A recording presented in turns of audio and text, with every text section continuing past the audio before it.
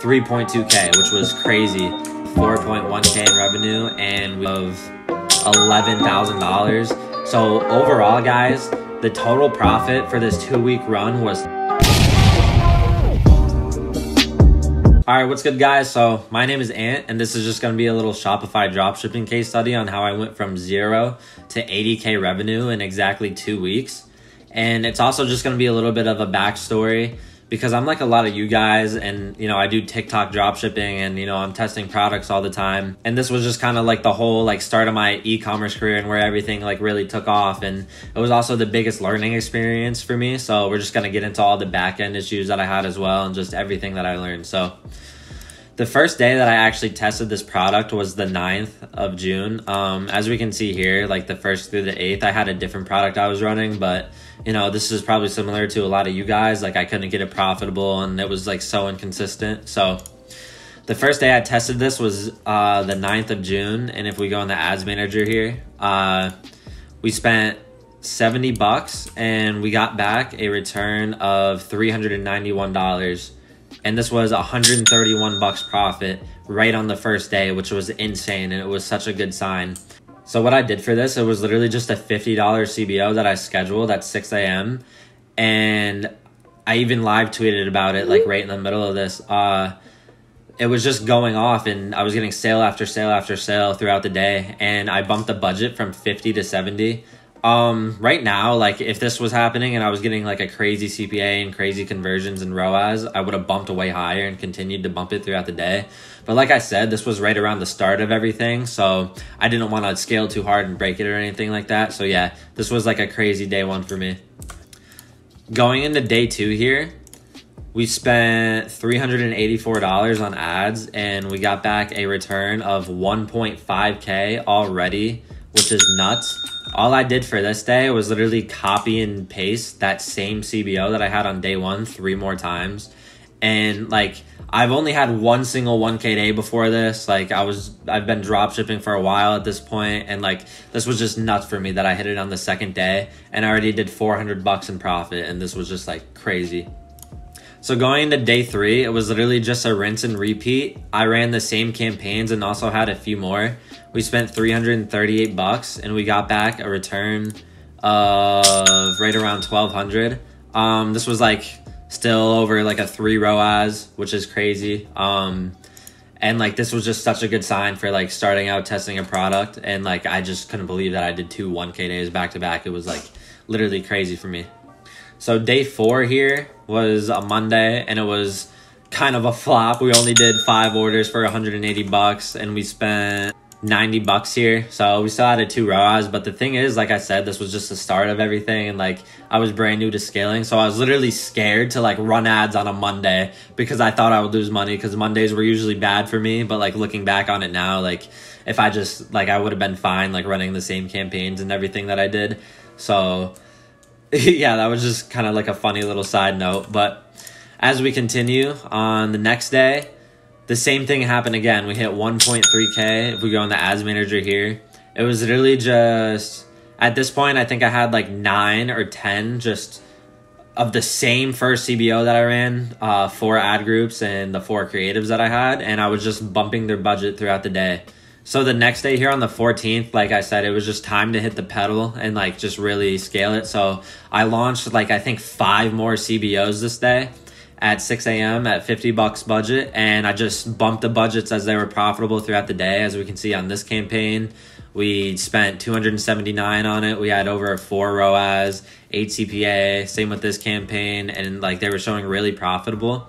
And all I was doing is just bumping budget on the good ones and turning off the ones that weren't showing promising signs throughout the day. So we spent 793 and we had our biggest day yet of 3.2k, which was crazy.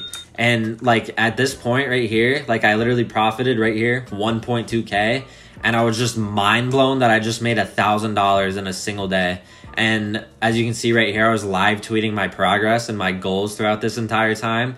And I even have a tweet right here on May 31st that my goal for the month of June would be 10k revenue and I already hit that just like a few days in. So like this whole like experience was like crazy for me now and like I just felt on top of the world. So going into the 15th year, it was just another rinse and repeat, the same exact thing. Uh, we spent a thousand dollars this day and it was just the same strategy with the CBOs and I was surfing them up. And we did another 3.8k. So at this point, this was our biggest day yet, and this is also where everything changed for me, guys. So what I noticed was even though I was spending more money every single day, I was still maintaining, you know, a good ROAS and a good CPA, and my margins were there, like no matter how much I spent. So the exact method that I used here is just bulk importing CBOs and surfing them throughout the day. I have a video tutorial about this exact method and how to do the bulk imports and all the signs that I'm looking for with surfing my campaigns. So if you want to see that, guys, you can click below and join.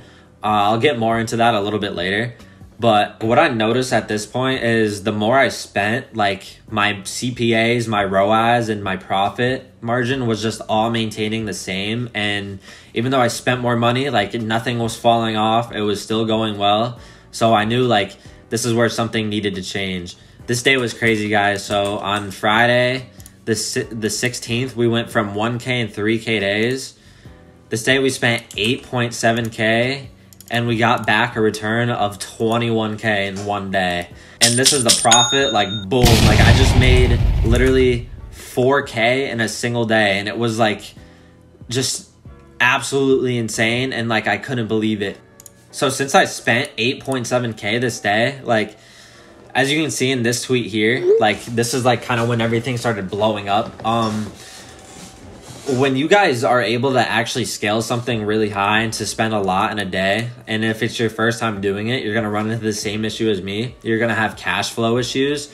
So literally throughout the day, like I was spending so much so fast. I was literally getting into my PayPal and doing instant transfers to my bank account so I could be able to afford the threshold when TikTok went to bill me for my ads and it was just insane. Like I even had my dad. I'm like, you just need to transfer me money right now. Like I'll explain later. Just trust me.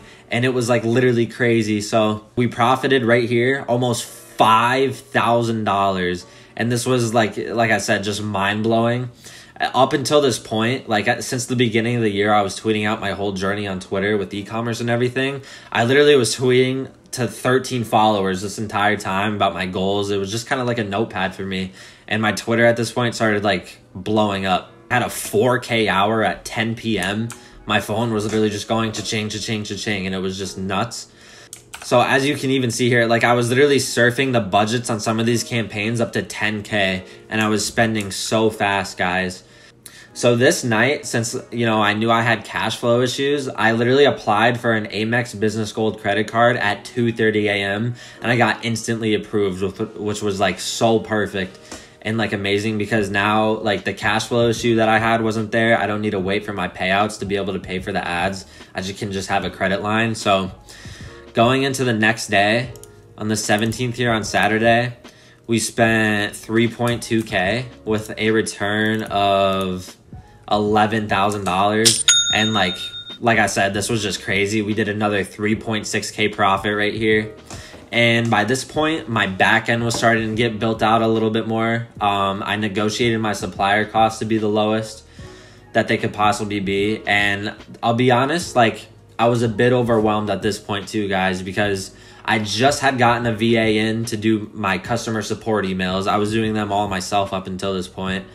What's good, guys? So I just had to cut in right here really quick because I was watching this back and I started rambling on like a straight up NPC bot. So all I was getting at is right around this time, I met my business partner, Fritz, and he's been in ecom for about eight years. Some of you guys might know him. He's built, scaled, and exited multiple seven figure brands, which is crazy. So I was super lucky to meet him right around this time. And what he did for me on the store was we implemented in our email flows. We added 3.6K revenue in just a few days, which was crazy. It was basically like free money going into my pocket because let's say I had a day where the ads weren't as profitable as I needed them to be because of the amount of email revenue I was getting with the flows that we implemented on Klaviyo, I was able to scale my ads so much higher just because I had so much more wiggle room from the email revenue. So me and him still work together to this day and we have our own Discord called Rippy Club. And in that Discord, I'm literally posting a full product reveal. I'm showing you guys all the exact creatives that I used and I'm also going to be going way more into depth about the ad strategy that I use. So you guys are going to be able to see firsthand what something that's able to scale this hard on TikTok looks like. And I'm going to explain in depth why it was able to work. So I'm going to be posting that right in the Discord. And because of all the skin in the game that we have from all the members that are in Rippy Club, we have literally every single e-commerce resource that you need locally in our Discord under the sun. So the Klaviyo flows I, I just mentioned that was implemented on my store that did the 3.6k revenue. It's called Inbox Invaders. We've already implemented this on a few of our member stores, and you know, just the first few simple flows are adding thousands of dollars in revenue in the first few days for some people. So if you guys are scaling, don't have email flows on your store yet, we're able to get that for you. We have our own UGC agency Rippy UGC has worked with a ton of big brands before. If you guys are scaling and you guys need new creatives, they're dying out or whatever the issue is, we can get you guys UGC for your product. We have an amazing lineup of creators. Like I said, we just worked with a ton of big brands before, and it's all proven structures that will actually convert in high quality. Fritz also has his own US 3PL warehouse. So brands that are scaling order bulk over there and you know, we ship out from US. We have amazing rates and way faster shipping times in like three days. We have all of our exact ad strategies that we use on here written out in every platform for Facebook, for TikTok, especially for Snapchat. Testing and scaling is a big issue for a lot of people with just straight up running the ads. We literally have everything written out in depth. I promise you guys they're different from every other guru and they actually work. They're actually what we use and they're super fire. Of course, we also do calls all the time, just dropping sauce for everyone, doing Q and A's, and I'm also just in the chat every single day, just helping everyone out, basically one on one. People will send me screenshots of their ad manager. I tell them what I would do next. We have a bunch of other people in there that are always helping each other out, and it's a super fire community. These are just some of the wins that we have from some of our members that and it's just awesome because you know some of these people worked with us for with the UGC and the email services so it's just cool that we're able to add that and just help everyone grow their store. So yeah it's just a super fire community. You guys should join up Rippy Club. It's only 50 bucks and if you don't like it cancel whatever. So yeah back to the case study. So going to this next day on the 18th we did 4.1k in revenue and we spent right around 1300 on ads and as you can see in this tweet here, like I said, I was live tweeting everything about how it was happening. Um, TikTok has a threshold on my account of $2,000. So every $2,000 I would spend, they bill me. So I literally couldn't go over that amount of spend just because like I wouldn't be able to afford the ads. So I was still waiting for all my payouts and my Amex to come in the mail at this time. So I was only able to start ads at 3 p.m. later in the day, and we still did 4.1k and had great profit right here. So on this next day, on the 19th, we did 1.4k, and I literally wasn't able to run ads throughout the day. This revenue is just organic and from the emails and stuff. Um, and then my Amex came in the mail at literally 5 p.m. and I was able to get it on my account and launch the ads, which is funny. And we were still able to hit 1K that day with a decent margin. So that was funny for that. And then just moving forward, guys, on the 20th, boom, 10.8K day. Running the same strategy with just bulk importing CBOs and surfing them up. We had 4.3K in spend. On the 21st, we spent 3.9K and we got back 10.3k was another 10k day this is the profit and this was just like crazy at this point. I was just cha-chinging everywhere. And right here on the 22nd we spent 3.4k and we got back 7.5k right around this time too like i said uh, i was able to set up a llc and a chase business bank account. So that was pretty awesome and just like another thing that i learned that i had to do throughout this time of scaling.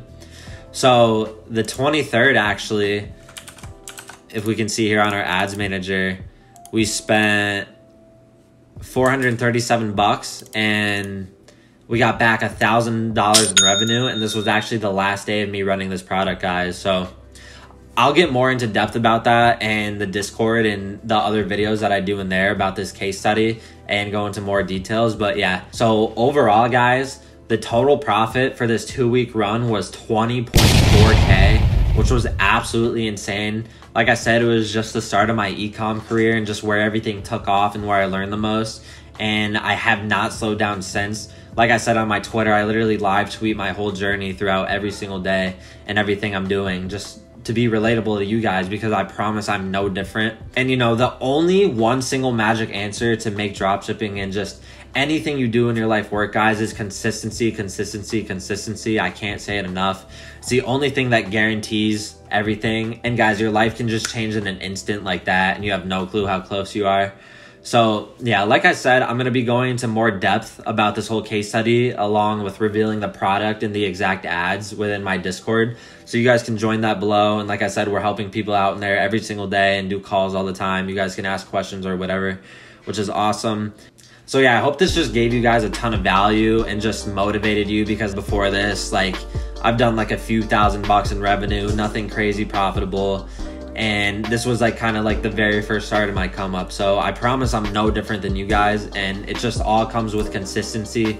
That's the only magic answer i can give to anybody is just staying at it because it's impossible to not work as long as you're consistent. I live tweet my whole journey every single day and just always am giving updates and you know always helping people out and stuff. So thank you boys for watching and i hope we can all eat this q4 so let's get it